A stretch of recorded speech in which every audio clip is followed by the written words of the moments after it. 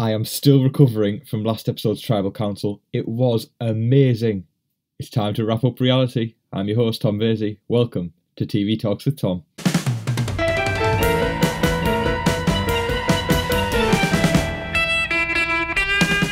Survivor Edge of Extinction, episode 8. What an episode we had there, ladies and gentlemen. It was absolutely incredible. Now, most of this episode is obviously going to be talking about the tribal council that happened because I think about half the episode was actually tribal council. So, honestly, I can't wait to delve into that and it's going to be absolutely brilliant. Okay, so just before again I get started, I'd like to remind you all I've got a Twitter. I'll put it in the comments, um, not the comments, yeah, I'll put it in the description at TV Talks with Tom.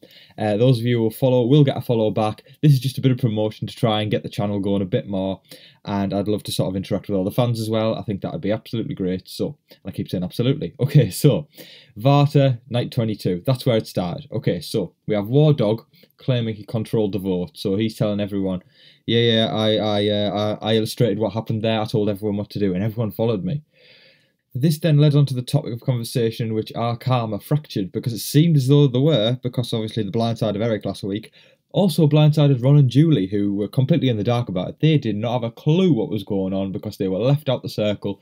They were not brought in on the deal, so they are feeling, you know, they, they probably feel like they're excluded and they probably feel quite lonely at this point that does sort of develop in the episode, and we see how they're feeling after after the events of the last tribal council. We um, also saw the fact that Ron and Julie potentially don't trust them anymore after what they did. However, our Kama did Kama really think it through? Did they realise that Ron and Julie are probably going to defect them after that because they're, they're probably not going to want to work with them if they're leaving them out of the loop like that? So Ron was asking Gavin about what happened. He was saying why wasn't I brought in on stuff? And Gavin was sort of just trying to explain his gameplay. He was sort of saying, you know, I wanted to have a like I wanted to take the big first move before they have a go at me. Fair play to him. I honestly think that was, as I said last week, I did think it was great to see some people stepping up to the play and giving us some gameplay that haven't necessarily given us gameplay before. So well done to Gavin, but also you got to think about damage control afterwards, in which how are people going to react and where are lines going to be drawn. Ron was disappointed because obviously he's been trying the whole time to have this Kama strong thing. He's been in control with Eric. Essentially, his best friend in the game is taken out, or his partner in crime at least, because them two have been working together to make sure everyone is strong together and everyone's working together so they can make power moves within the game. So the fact that Kama have, you know, scattered and they've gone, right, we're voting this person, but we're not going to tell you. This is a pivotal point in the game in which more lines are, are being drawn within the tribe. Gavin does say to the Lesu 3 afterwards that he's willing to work with them. So, obviously, because there was the deal last week where the Lesu 3 would work with Gavin, Victoria, and Julia. So, Gavin continues to say he's willing to work with them, plus Julia and Victoria. So, that will also be a power alliance, I would think, if they, if they do decide to work together. I think uh, fantastic gameplay last week on behalf of the Lesu Three. They were at the bottom of the tribe, like you know, they when it came to the votes, they potentially one of them was going to go, War Dog rallied the troops. He went up to people and said, How about we do this vote? War Dog did say he controlled the vote. I don't think he controlled the vote. I think he was a pivotal part of the vote. He couldn't have done it without the help of Gavin, Victoria, and Julia. Because War Dog was at the bottom of the tribe, along with Lauren and Wentworth. The fact that he had managed to persuade them was, uh, you know, that's very, very respectable. You know, I, I can say that was brilliant gameplay. Hopefully, the jury will be able to see that if War Dog does make the final three because that was a big part of the game. But in conclusion, I don't think War Dog did control the vote. However, he was a massive part of it as he did influence a lot that went on. Another revelation we saw last episode was a difference in opinion between David and Devens. We've seen them be very, very tight all the way uh, throughout the show so far. We've seen them work together, and also when the Lesu didn't, when Lesu tribe did not stick together, them two always stuck up for each other, which is great to see. Devens and David are two of my favourites. I really like seeing them both play, and I think they're a fantastic alliance. However, we did see, as I said, a difference in opinion, which caused a little fracture between the, the two of them. Obviously, David has one side of the immunity idol, whereas Devens has the other. So there was a little squabble between that who's going to get custody of the idol. They seem to patch things up pretty quickly. I like to see that because honestly, David and Devens are a fantastic alliance, and if they can stick together, they have quite a lot of I wouldn't say power, but they have a lot of potential in like future games. So I really hope that they do stick together. And as I said, they did manage to mend things up pretty quickly, so they're back on track. They did sort of push the idol talk sort of slightly away. They didn't need to talk about it immediately, but they do talk about it further on in the episode. In my opinion, I do think well, not in my opinion, I think it'd be in the majority of people's opinion, this tribal council that does happen is the craziest tribal, one of the craziest tribal councils ever. So I think it was almost vital that they had to talk about this idol before going in. But we will talk about that later. First, we're going to talk about the Edge of Extinction and how Eric has just gone there after the blindside last week. So he does feel horrible after being blindsided. He was just, he, he wasn't as emotional as other players. He just sort of seemed a bit drained. He was sort of sat around looking around at people, and he didn't seem to be joining in that much. So at least we didn't see him really, really upset, but I think definitely mentally drained because boredom has hit, and I think boredom's hit for everyone. Think about how long Reem's been there now. She was the first voted off, and she has she's been there since the start, pretty much. So fair dues to Reem, honestly, she she's done quite well. And do you know, hats off to them all really for staying there. Um, Joe was sizing up the competition. He was sort of seeing what's going on. He was basically analysing everyone and sort of saying, "I don't think anyone's going anywhere." I think I think he said Reem was too invested. Chris ain't going anywhere. Eric ain't going anywhere. Aubry ain't going anywhere. Is that everyone on Edge of Extinction? I think it is. Um, I hope I haven't forgot about anyone there, but I believe that's everyone on Edge of Ex- Extinction. And I think Joe's right there. Nobody's going anywhere. Everyone wants to. Everyone wants to be back in the game. Back to Vata now, where we saw a lot more gameplay. Straight away, Devens and Julie were talking about last night's tribal. As a few of the castaways were left out on the blind side last time, Devens and Julie want to work together, and they want to rope Ron in as well because Ron was left out the, the, the, the, loop as well. We saw Devens and Julie they, did talk more game. They were like, definitely, we're going to work together.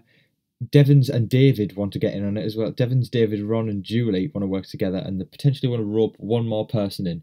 Whether that person be someone who else hasn't been in the loop, potentially Aurora, they do not know, but sort of, they were discussing it. You know, it wasn't um, set in stone, but they were discussing it as a potential alliance. Julie felt very, very, very stressed. She felt lonely and she was missing her family. I can completely sympathise with her because she did, like, you know, last week, the fact that she was left out the loop, and honestly, she must feel depleted because Julie has played quite an honest game so far. She hasn't been nasty to anyone, she hasn't betrayed anyone. She's been loyal, she's been kind, and she's just been nice to everyone. So for people to go do that to her, obviously it's Survivor. You you, you got to expect you know blindsides and I can't. I don't want to say nasty things, but you know unexpected things to happen. But then again, Julie hasn't called for any of that, so but she's been left out of the loop. So I can understand why she feels lonely and she's missing her family. Gavin and Julia were discussing the next vote. They said David could be a potential target. These targets, pretty much like throughout the episode, everyone's name was getting thrown around. Again, David isn't set in stone, so we're going to see a lot more names being thrown around before we get to the Mega Tribal Council of the Ages. Time for my second favourite part of the episode, people. It's the immunity challenge. Jeff tells everyone to come in as usual and he tells them the rules. So I'll just quickly go over them again so everyone understands and remembers what actually happened in the immunity challenge. Okay, so you have to stand on a narrow beam whilst balancing a ball on a wooden bow. So at regular intervals, you have to move further down the beam and it gets more and more narrow, which, which means harder to balance. If you fall or your ball drops, you're out. Last person standing wins immunity for themselves. Just like usual, everyone begins to start, and my initial thoughts were, wow, this this is really difficult. It looked extremely hard to balance that ball on a bow. I mean, it's it's like a semicircle essentially that you're, you're balancing it on. So, and the fact that you sort of your feet are balanced on a narrow beam as well makes it even more difficult.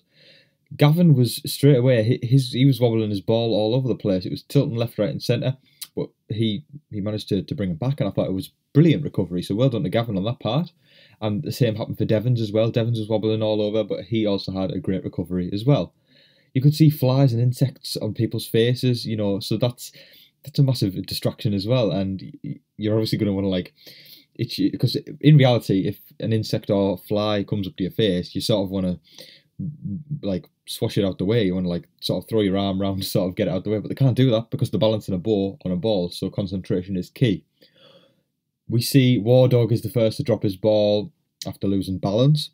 I'm pretty sure last week War Dog was also early to drop, so War Dog has improved himself too well in these in these physical competitions. So he needs to potentially up his game if further down the line. If he requires immunity, then he's going to need to try and get it. So Julie was the second to drop after that.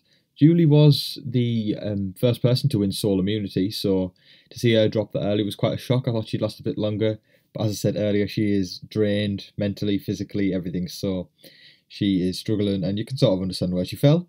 I'll just remind everyone that Julie and Aurora are the two people who've won Soul Immunity so far. Okay, so before War Dog, uh, obviously War Dog and Julie were the first to fall. It, they then have to move down to the next stage of the beam, and straight after moving down, Ron drops his ball. Devens continues to sort of move a lot, and he's balancing it left, right, and centre, but he's wobbling all over the place, and he eventually drops as well. At this point, there is two men left and five women left, so it's heavily led by women in this challenge so far. But then the tables turn, Aurora drops the ball, Victoria drops the ball, and Lauren drops the ball.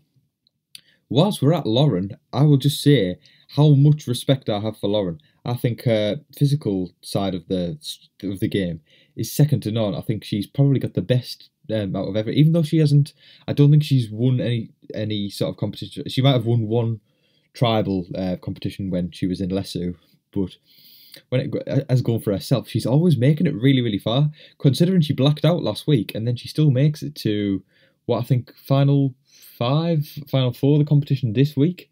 Yeah, yeah, I think uh, yeah, final final five. I think the competition this week. That's that's brilliant. I respect that so much, and she's always doing really really well in physical comps. So well done to Lauren. I've got immense amount of respect for that. I also hope if she does make the final three, jury have kept an eye on how good her physical game is. So Wentworth is the next to drop. So then we have the final three in this competition. We have Julia, Gavin, and David. Then Julia drops that was a turnout for the books because obviously there was five women left, two men left, and the two men have made the final two. We have Gavin and David. David has competed in a previous uh, season in this same challenge before, so he's had practice. So he's probably got the best uh, the, the best chances of, of winning this challenge. But he did he didn't win that last time, so he wants to redeem himself. But unfortunately, David drops his ball. But well done, Gavin has won the challenge, so Gavin won individual immunity. Well done, Gavin, considering he was wobbling about at the start, but they had the great recovery. He has won the challenge, so well done to Gavin. Immense, immense amount of respect. On the way back to camp, Gavin said that if David goes home to the tribal council tonight, he can claim he was the reason he was sent home now, I have mixed opinions on, on this statement because I thought, yes, Gavin did win the immunity, but just because he's won immunity doesn't mean he was the reason David went home. He was a part of it, don't get me wrong. He was, you know, he influenced it because he stopped David from getting immunity. But he can't necessarily say he was the one who sent him home because obviously it's a group movement, isn't it? He has to rope people in first and people have to agree to the, the decision. So he can't take sole responsibility for that. Uh, however, he can take responsibility as a part of it, but not fully. So that's what I thought on that statement. Right, so let's talk about the last part of Vata and a bit of strategizing and gameplay before we move on to Tribal Council. I know it's early to move to Tribal Council, but it was in the episode, but it was definitely worth it in my opinion. Okay, so Vata. Everyone straight away when they got back to the camp, they're splitting up and scattering everywhere. There was groups of people at the campfire, there were groups of people further down the beach, at the rocks, everywhere. Everyone was moved about, and that again caused paranoia, it caused stress, and it caused confusion amongst castaways. Devens tells Gavin and Julia that the Lesu three are extremely tight and they always vote together, no matter what. That's vital information that Devens has gave them, so they know maybe they can't trust them. Devens then tells Victoria, so now Devens has been pitching this to quite a few people. He's trying to rope them in, and again, good gameplay on Devon's part because he's wearing his heart on his chest, and he's he's literally he blew up last week at War Dog as well. So everyone knows where he stands, and he can just say what he likes basically. And I think maybe slightly it's not the best social game, but strategy wise, I think it's very very good if you can't tell, Devens is definitely one of my favourites, if not my favourite, which is why I keep saying good things about him. But I'm trying to be unbiased here, which is why I've got to say, you know, he's he's not he hasn't got the best social game, but definitely when it comes to strategy, he's acing it. And to be fair, he won the the battle back in the uh, Edge of Extinction as well, so that's sort of good physical game as well. He's been proving himself slightly. Okay, so let's continue. Uh, Kelly is worried. Kelly Wentworth is worried that if they vote David out, then Kama people, uh, the other Kama people, will go back to Kama Strong and vote one of the Lesus out.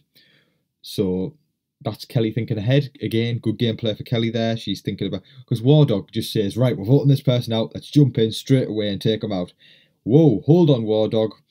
Kelly has been rational here. She's thinking, right, okay, let me think this through. She's played this game more than once and she knows how the game works. She's going, right, what are the repercussions? What could potentially happen? What are the advantages? What are the disadvantages? She's looking at everything as a whole. Well done to Kelly Wentworth because she's a legend for doing that. Um, Ron is Ron's name is thrown around as a potential target by Lauren. Lauren said, "How about we take out Ron?" Because Ron, again, he was the the ringleader of Kama along with Eric. So how about we just finish them off whilst we're at it? She believes that if they take out it's going to alienate Julie. I like Julie again. I wouldn't like to see her alienated, but I've got to say, if they were to take out Julie probably would be alienated. She'd probably gravitate to, what, more towards uh, Devens and David, but I think by alienating her, that's more power for the Lesu three, I guess. So fair play for Lauren for shouting that out.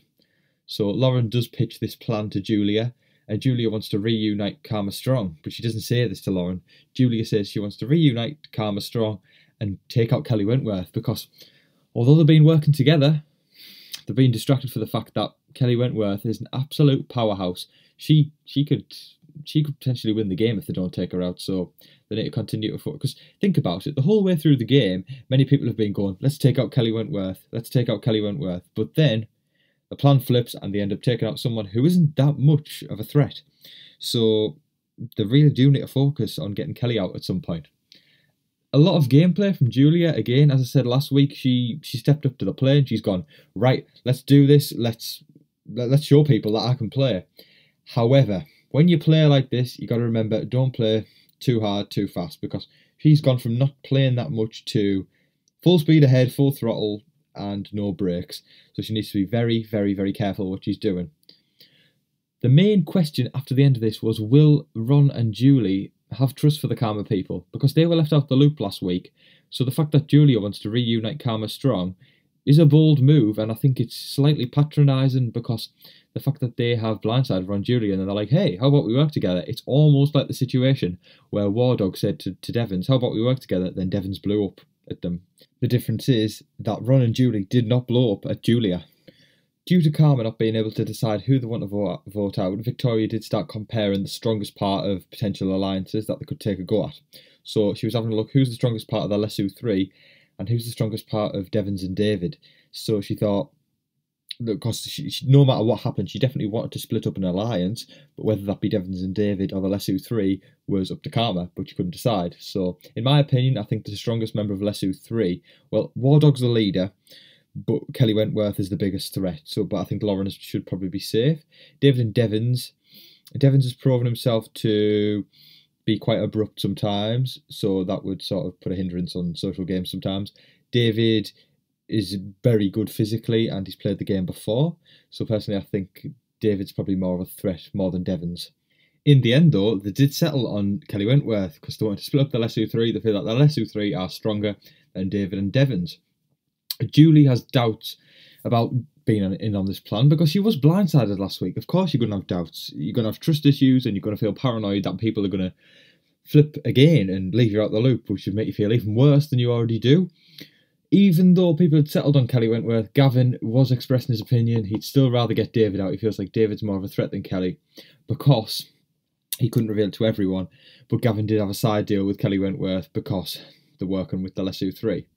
Ron keeps telling people he doesn't want to go home. It was so funny. I actually laughed out loud at one point because everyone's like discussing game, and Ron was just like, "I really just don't want to go home." Like nobody brought your name up, Ron. Calm down, man. Stop being paranoid because that's all it was. Literally, because like even though people were just discussing game, Ron just seemed to sort of keep going on about himself, which you know it was blowing his cover really because he in previous weeks he's been shown to be this sort of guy who can control people and you know he's he's cool he's a cool leader and now he's sort of like every single time someone brings up someone's name he's like please don't send me home. I don't want it to be me. Just calm down ron. Lay low man. And then he can survive a couple more weeks maybe or even to the end. We'll see honestly but you need to work on your strategy rather than just crying to people that you don't want to go home back to some sweet sweet idol talk now between david and devens even though they've got a part each they have decided they definitely want to use the idol at tonight's tribal council Many names have been thrown around. They don't want to take a risk. However, David's spidey sense was telling him to use the idol on himself, and Devens agreed, strangely. So I think it's looking like they're definitely going to use the idol on David. Then everyone sort of sat around the campfire, and it was extremely strange. Everyone was looking at each other, like giving each other really weird looks, and some people just had their heads down. I saw Julia nodding at Wentworth, Aurora was sleeping, and Victoria was scraping the pan, so she didn't want to make eye contact with anyone. And Gavin, he came into the camp with his head down, not want to speak to anyone. So it was definitely a mix of emotions, and Kelly did not feel good about that. She said she potentially wants to also play her idol, or she didn't say also because she didn't know that they were going to play the idol, but she we did. So she definitely, well, not definitely, but potentially wants to play her idol. Dun dun dun. You know what time it is? It's time for Tribal Council, but not just Tribal Council. In my opinion, the best Tribal Council I've ever seen. What a Tribal Council we had there, folks, and let's talk about it because this is it started 25 minutes into the episode, which means it's going to be a long, long Tribal Council. We've got a lot to talk about, more than usual, so let's delve right in and discuss what happened in the best ever Tribal Council, in my opinion. Okay, so Jury arrives. Reem, Chris, Aubry, Joe, and Eric showed up. So that, uh, as, as we said, the people have been sent to Extinction Island and haven't decided to leave the game yet. Jeff straight away brought up the discussion of a blind side.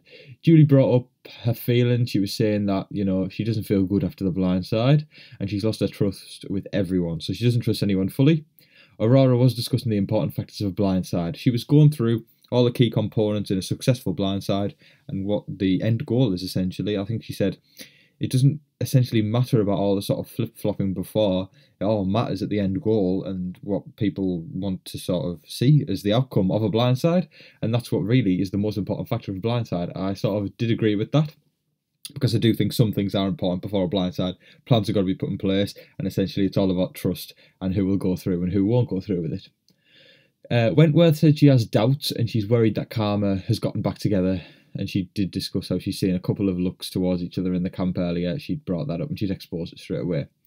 Devens was being quite vocal. He was showing honesty and he called out a few people for not informing him about the vote. She, he said, I, I can't remember the exact names that he brought up, but he did say, I think he brought up about three names for saying, uh, You didn't bring me at the vote. You essentially let the clock run out and didn't tell me anything about it. So I'm left out the loop there's Devens, you know, being vo- just as vocal as usual, and again, his social game isn't brilliant, but you know, at least you can see he wears his heart on his chest. Next, we saw Julie getting a bit upset. She started crying after she said uh, she reiterated what she said earlier in the episode. She said she felt physically and mentally drained. So, whilst that was going on, though, more gameplay started to emerge because Wentworth was whispering to Julia, "Are we good?" And she nodded back and said, "Yeah." And she was straight up there. She said, "So obviously know that there's a deal going on there." And that's initially what people went into tribal council thinking. They thought that they had a deal between Julia, Victoria, Gavin. Also, Aurora, I think, was roped in plus the Lesu 3, so that's essentially what they thought.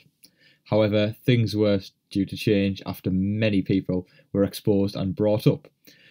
Julia essentially announces that there was something going on between herself and Wentworth because Devens called them out for whispering, and Julia said, like, oh, I'm just laughing at the fact that Wentworth just asked me if we're still good. She basically said in front of everyone, we have a deal, people, everyone look at us, and that is when the game started to flip upside down.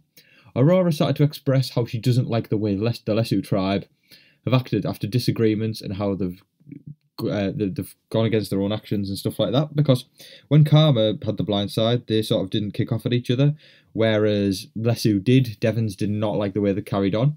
She sort of accused them of not owning their actions, then, which I thought was a bit strange because they did. Devens hasn't been messing about. He sort of straight up said, you know, I don't want to work with you. So they did own their actions.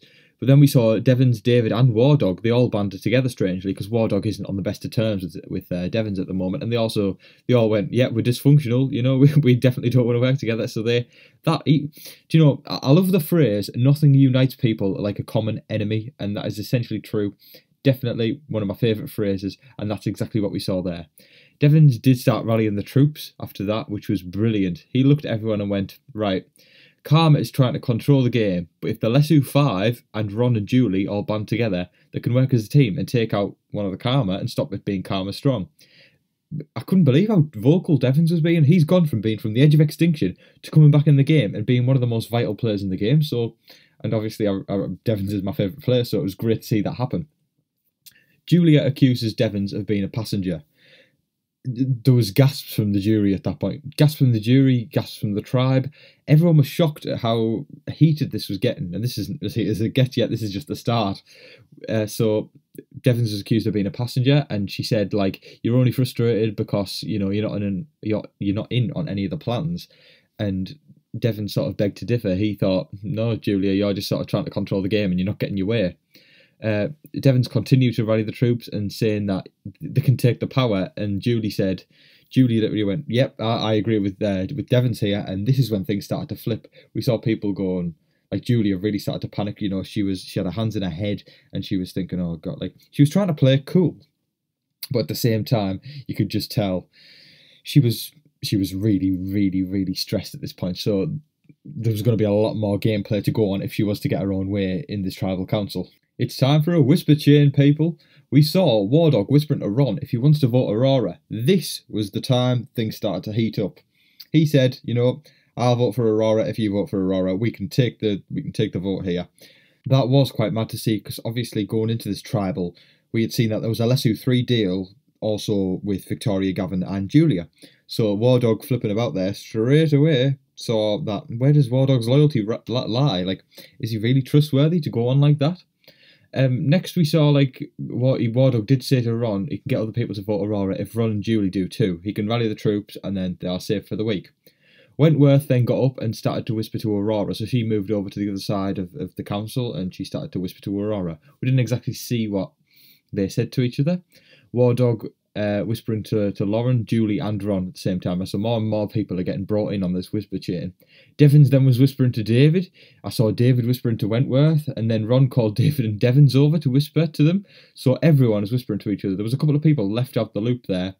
Julia and Gavin. Now, this is ironic. Literally, if you told us a week ago that we'd see Julia and Gavin left out of the loop this week, I would have laughed because we saw the the fact that they left people out the loop last week. It has completely flipped and done a 180 degree turn, which is mad to see and also brilliant for the Survivor fans to see because we love a tribal council in which there's lots of drama and lots of gameplay. Say what you want. Some people I've, I've seen on social media, a lot of people call it confusing.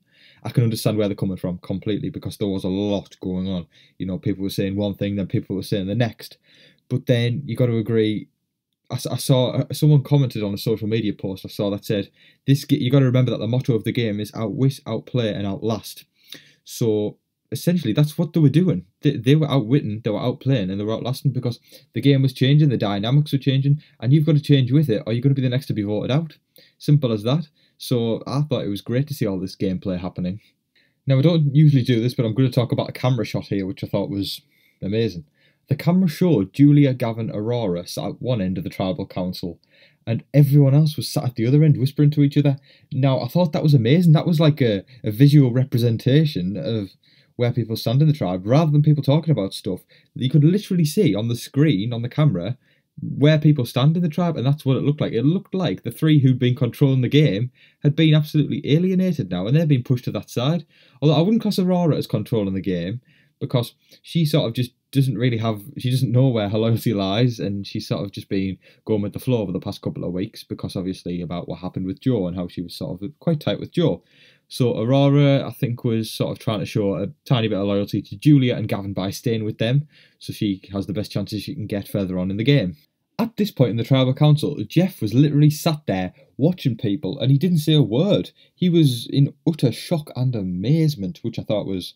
It's very rare to see. You, you, sometimes people say something and then Jeff goes like, "Whoa," and sort of sits back a bit. But we've never seen, well, as far as I can remember, I haven't ever seen Jeff sit in silence for so long and just let people hash it out. So this was that was rare, very rare to see. So we we were treated there. I also did notice in this tribal council that Victoria wasn't really being spoken to that much. She sort of she was sort of moving from each side. She wanted to sort of play the field, sort of do what's best for her. That's what I have noticed as well throughout the season so far. Even though Victoria has shown loyalty to people, she is very conscious and she knows what's going on around her. I think she's a very good game player, and I've got an immense amount of respect for that because she is just trying to get through the night. She wants to make sure that she's okay because she's putting herself before her tribe. Uh, well, not a tribe, her alliance. So she, she can make sure she's safe for the night. More times of the tables turning, people. Devens tells Wardog and Wentworth that a truce could save them both. Now, this has gone from Devens blowing up at Wardog last week to sort of them sort of agreeing on a truce, which I thought was amazing to see. Wardog tells uh, Devens about the Aurora plan. He said that, how about we take out Aurora, Again, many names were being thrown up in the air. Nothing was set in stone just yet. Wentworth tells Julia, Aurora, and Gavin that she wasn't trying trying to sort of turn on them or anything like that. She wants to get to the bottom of the plan, and she was just asking them, was there actually any sort of secrets going on? Because Wentworth was obviously on the plan in the first place, and she just wanted to see if she was being played or if there was any sort of thing that was going to blindside her. And then Julia was sort of saying, you know, essentially the plan was to take out David. It, it wasn't to, they, they weren't planning on blindsiding anyone. So Julia was sort of, again, wearing a heart on her chest. She was telling the truth there. Fair play to her. Julie says that her and Ron will vote with Lesu. So at this point, we've seen Julia and Ron jump ship and go, "Yep, right, okay, it's it's it's essential, and we're definitely going to work with you now because you've definitely got our backs more than the Kama strong people." Even though Aurora's name was heavily rumoured throughout that tribal council, we then saw Julia's name being brought up. I'm pretty sure it was was Julie who said, "How about we take out Julia?" And Wardog was like, "Say the name and we'll do it." And Ron was like, "Julia," but then straight away, everyone stood up and started walking about. So Julia was sort of moving further towards them. She might find out. This point onward, my opinion changed on Ron. It was quite snaky what he did. They essentially brought up Julia's name and they were sort of discussing it amongst them. Ron wasn't sort of pushing it too much. Then Julia walks up, and Ron was like, Julia, they're bringing up your name. How dare he do that? Julia left him out the loop last week, right? So then War Dog and that are helping him, you know, essentially get back in the loop, and they're trying to save him. And then he's selling them out by sucking up to Julia. I didn't like that. I thought that was really, really snaky.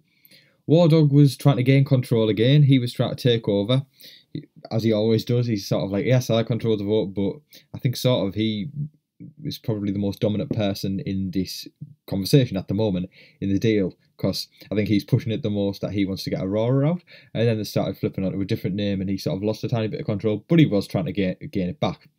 Julie blows up at Gavin and Julia and tells them, I'm out completely. And she then told them that she'd seen a lot of looks throughout the day that she hadn't turned a blind eye to. She had seen them. She didn't decide to bring it up then, but she t- decided to bring it up now. She said that she saw many sort of dodgy looks throughout the day, everyone looking at each other, sort of.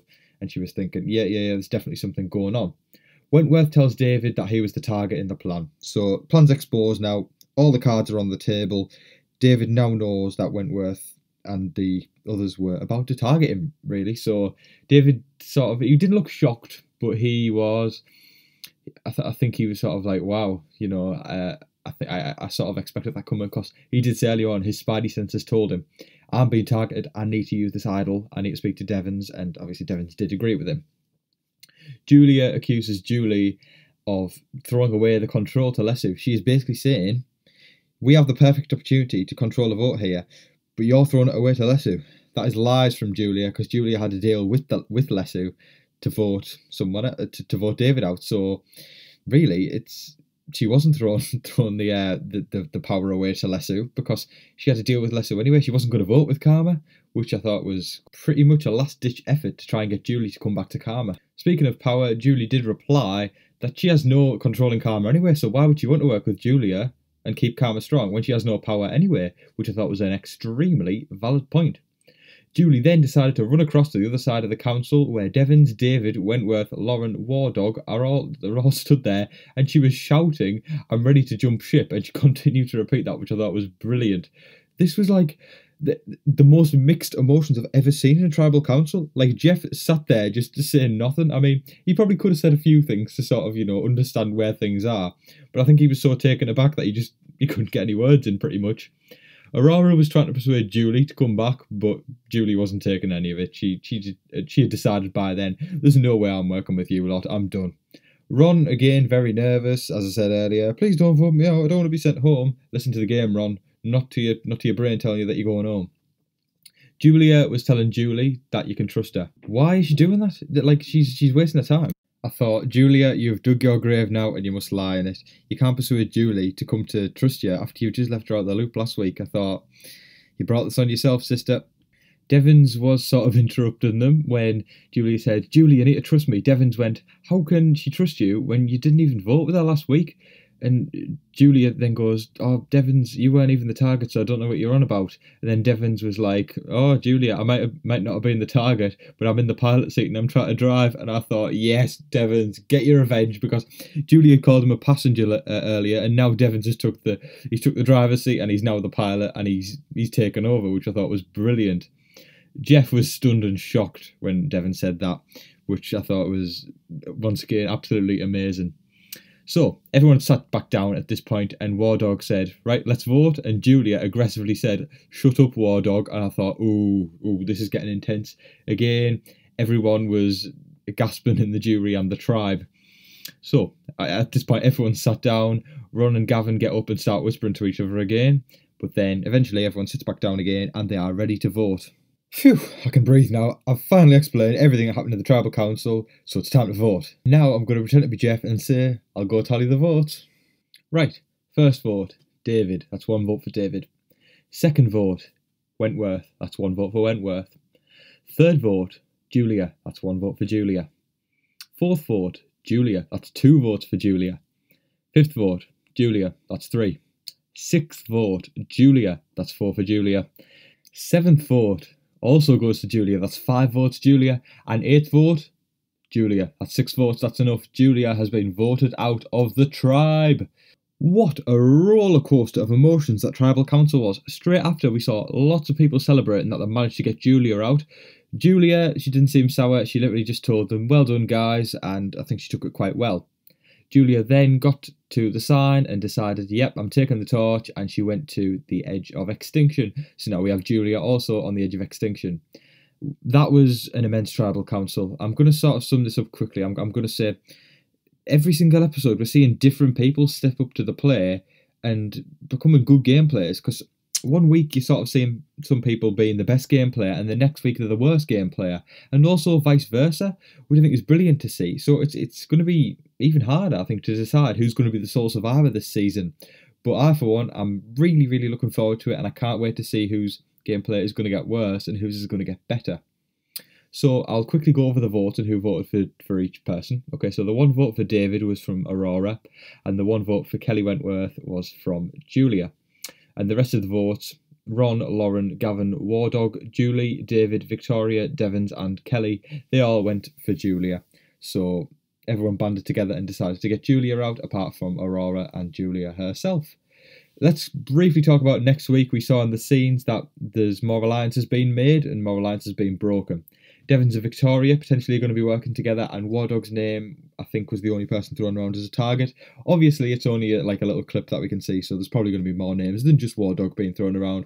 But I can't wait. If last week's, well, this well this week's episode is anything to go by, next week is going to be absolutely brilliant thank you everyone for watching. I really, really appreciate this. I can't believe I'm on episode four of this podcast already, episode eight of Survivor Edge of Extinction, but episode four of the podcast. Please remember to check out the Twitter. I'll give you a follow back if you do. I would really, I really appreciate all the support that I'm getting. I think it's it's amazing. I was glad to see the views go up as well on last week's episode, which I thought was great. So thank you very much for that. I'm going to say all the cliche stuff as usual. Please like, please comment, and please subscribe and please share. I would really appreciate it as it would be doing me a massive favour. I've been your host, Tom Vasey. Good night.